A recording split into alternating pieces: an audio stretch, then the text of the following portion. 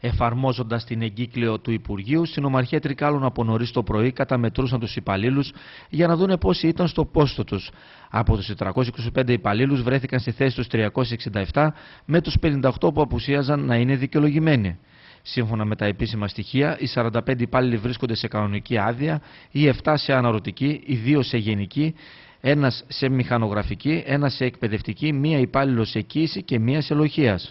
Λειτουργήσε κανονικά η νομαρχία παρόλα αυτά που μεσολάβησε Παρασκευή και η ανησυχία των πολιτών ή του Υπουργείου ήταν ε, ότι δεν θα εργαστεί τόσο καλά το δημόσιο τομέας.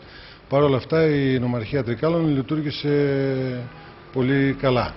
Από τους 425 εργαζόμενους, οι 367 εργάστηκαν και οι 45 είναι σε, άδεια, σε κανονική άδεια, άδεια αλοχίας, άδεια μηχανογραφική και άδεια εκπαιδευτική.